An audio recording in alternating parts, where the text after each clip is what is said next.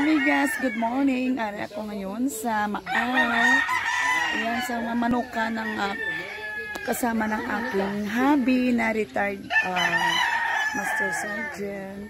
Ayan. Ang ganda ng ano. So, bye-bye. See you.